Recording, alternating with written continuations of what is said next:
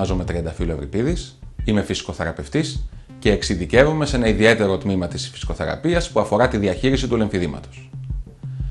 Το λεμφίδημα αποτελεί ένα χρόνιο είδημα ως αποτέλεσμα της βλάβης του λεμφικού συστήματος.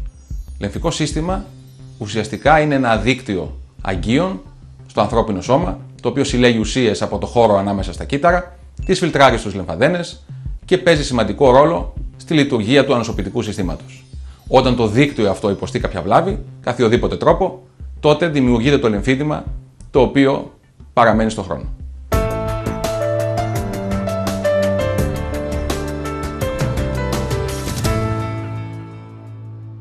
Το λεμφίδημα μπορεί να δημιουργηθεί με δύο τρόπους.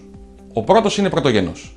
Ουσιαστικά κάποιος άνθρωπος γεννιέται με κάποια δυσλειτουργία στο λεμφικό σύστημα. Αυτή μπορεί να είναι ένας διαφορετικός αριθμός στους λεμφαδένες, να είναι λιγότεροι ή να έχουν διαφορετικό σχήμα, διαφορετικό μέγεθος και μπορεί να είναι από τη δυσπλασία, ε, τη δυσμορφία των λεμφαγγείων. Όταν υπάρχει αυτό, κάποια στιγμή στη ζωή του, με κάποια ασήμαντη αφορμή, για παράδειγμα ένα διάστρεμα, ένα τσίμπημα μιας μέλισσας ή ενός κουνουπιού, μπορεί να ενεργοποιήσει, να πυροδοτήσει την εμφάνιση του λεμφιδήματος.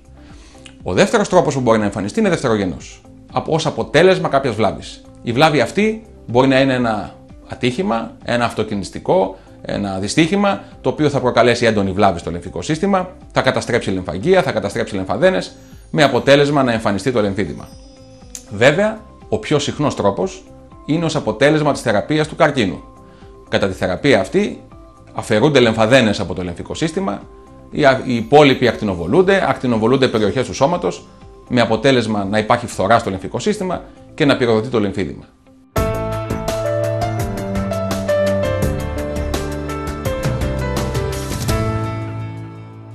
Το λεμφίδημα μπορεί να εμφανιστεί παντού. Σε οποιαδήποτε περιοχή του σώματος, ουσιαστικά όπου υπάρχει λεμφικό σύστημα. Αυτό σημαίνει βέβαια πιο συχνά είναι στα κάτω άκρα και λόγω της ποιότητας ζωής, της καθημερινότητας, της ορθοστασίας, της ακινησίας. Παρ' όλα αυτά, εξίσου συχνό είναι στα άνω άκρα, κυρίως ω αποτέλεσμα της θεραπείας του καρκίνου του μαστού, αλλά φυσικά σε οποιαδήποτε άλλη περιοχή του σώματος. Εμφανίζεται στα κινητικά όργανα, ε, μαζί με τα κάτω άκρα, στον κορμό, στο πρόσωπο, τον τράχυλο, ε, γύρω από τα μάτια, αλλά και σε εσωτερικά όργανα, σε σπλάχνα όπως είναι το έντερο, το σηκώτη και άλλες περιοχές.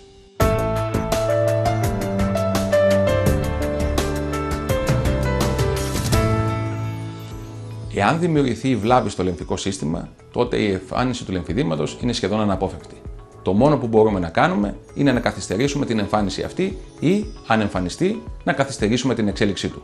Ένα βασικό στοιχείο είναι οι τραυματισμοί. Κάθε τραυματισμός, ακόμα από μικρός, μια εκδορά ή μια αμυχή, ένας μεγάλος τραυματισμός όπως ένα κάταγμα, σίγουρα θα επιδεινώσει ή θα πυροδοτήσει την εμφάνιση του λυμφιδήματος. Ταυτόχρονα μπορεί να παίξει ρόλο στην εμφάνιση λοιμόξεων. Κάθε ανοιχτή πληγή μπορεί να οδηγήσει ένα μικρόβιο μέσα στο ανθρώπινο σώμα, το οποίο εφόσον οι λεμφαδένε ή τα λεμφαγεία δεν λειτουργούν σωστά, μπορεί να ενεργοποιήσει μια αλυσιδωτή διαδικασία λοιμόξεων. Παράλληλα, ο τρόπος ζωής, η ορθοστασία, η κάθιστη θέση, η ακινησία οι βαριές δουλειές, η κόπωση του άκρου ή της περιοχής η οποία έχει το λεμφίδημα μπορεί τόσο να πυροδοτήσει, όσο επίσης και να εξελίξει την εμφάνισή του. Παράλληλα, στα χρόνια είναι σημαντικό οι ασθενείς να προσέχουν γενικότερα την υγεία τους, τη διατροφή τους, τα ρούχα τους, τον τρόπο που φοράνε κάποια ενδύματα, ειδικά τα σουτιέν στις γυναίκες, για να εμποδίζουν ε, την παραγόνιση του λεμφικού συστήματος.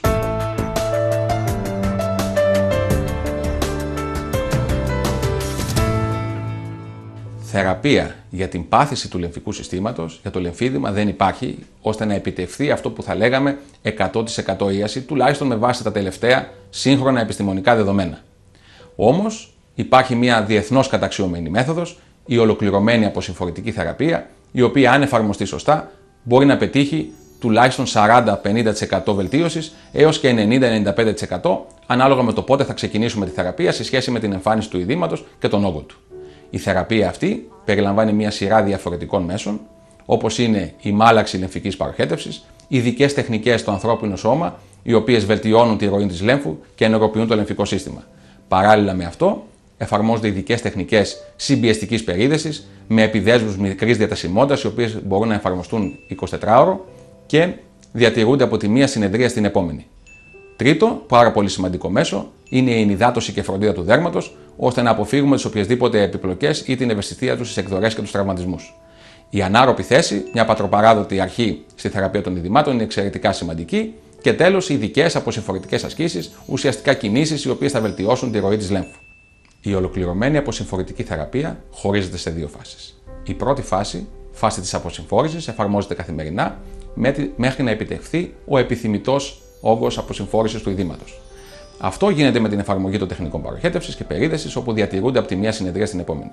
Μόλις ολοκληρωθεί ο κύκλος αυτός και έχουμε πετύχει το επιθυμητό αποτέλεσμα, τότε πρέπει να προσαρμοστεί στον ασθενή ένα ειδικό συμπιεστικό ένδυμα. Αυτό αποτελεί και την έναρξη της δεύτερης φάσης που είναι η φάση συντήρησης. Στη φάση συντήρησης, ο ασθενής πρέπει να φοράει το ένδυμά του καθημερινά, εκτός από τον νυχτερινό ύπνο, και να εφαρμόζει μία θεραπεία όπως στην πρώτη φάση, μία θεραπεία με λεμφική παροχέτευση και περίδεση, όποτε το κρίνουν μαζί με τον θεραπευτή και εξαρτάται τόσο από την ικανότητά του για αυτοδιαχείριση, όσο και τη συστηματική χρήση του ενδύματος. Με την ολοκληρωμένη αποσυμφορητική θεραπεία μπορούμε να πετύχουμε αξιόλογη μείωση του ειδήματος. Αυτό σημαίνει βελτιωμένη ποιότητα ζωής για τον ασθενή, λειτουργικό άκρο, αποφυγή λοιμόξεων και οποιονδήποτε επιπλοκών από το λυμφίδημα.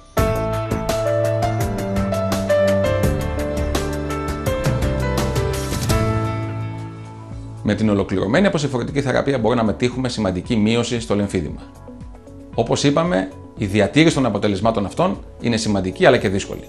Γι' αυτό η χρήση του κατάλληλου ενδύματος είναι απαραίτητη και αυτό πρέπει να έχει κάποια χαρακτηριστικά. Πρέπει να έχει καλή εφαρμογή, λειτουργικότητα, να μην στραγγαλίζει το άκρο και να βελτιώνει την ποιότητα ζωής του ασθενούς. Ένα ένδυμα επίπεδης πλέξης με επίπεδες γραφές που έχει προσαρμοστεί ακριβώς πάνω στον ασθενή είναι η ενδεδειγμένη λύση για τέτοιες περιπτώσεις. Κάθε εξειδικευμένος θεραπευτής οφείλει να γνωρίζει την καταλληλότητα των ενδυμάτων, να κατευθύνει τον ασθενή του και να βοηθάει στη διαδικασία της μέτρησης, ώστε όταν αυτό παραδοθεί να λειτουργεί σωστά και να βοηθάει στη διατήρηση του λεμφιδήματο στα επιθυμητά επίπεδα.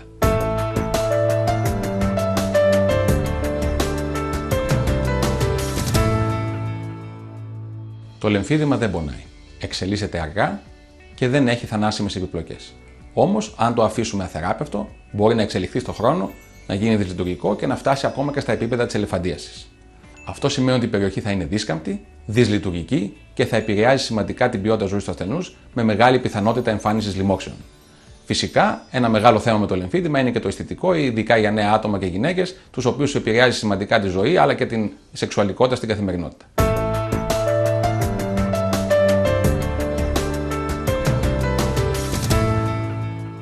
Δυστυχώς, το αντικείμενο της διαχείρισης των λυμφιδημάτων δεν αποτελεί βασική γνώση στις σπουδές ενός φυσικοθεραπευτή.